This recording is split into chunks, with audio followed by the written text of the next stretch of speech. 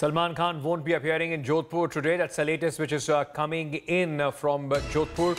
Uh, we'll uh, get you more details uh, on this. So as of now, Salman Khan is not going to appear in the court, in front of the court in Jodhpur today.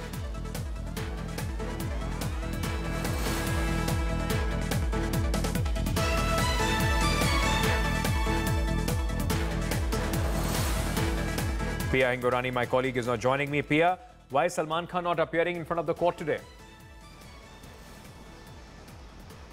Well, Ankit, in fact, last night itself, sources close to Salman Khan did confirm that he will not be going to Jodhpur today.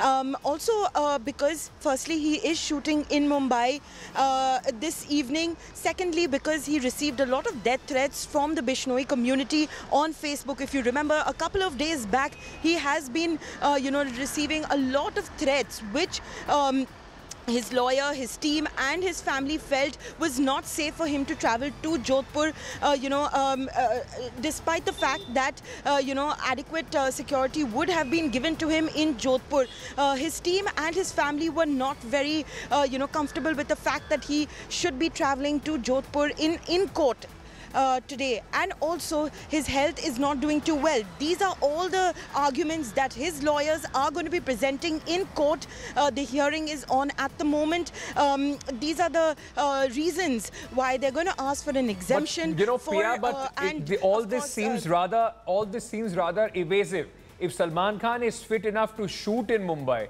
then he's largely also fit enough to in fact travel to Jodhpur. It's a process of law and there is nobody is a superstar in front of uh, the law. It's equal for everybody else. If there are security concerns, that can be addressed by the local court.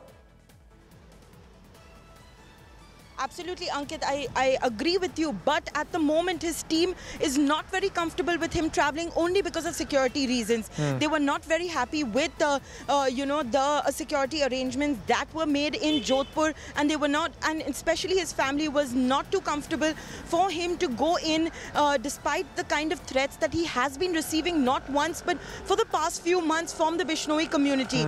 And if you have noticed, right from, uh, you know, uh, last May, he has not been appearing in court precisely because of the security concerns. So yes, today also he is at his residence. Behind me uh, is Galaxy Apartments. I'm standing out here in Bandra, Mumbai, and uh, he is inside at the moment. All right, Pia, thank you for joining us with all those details.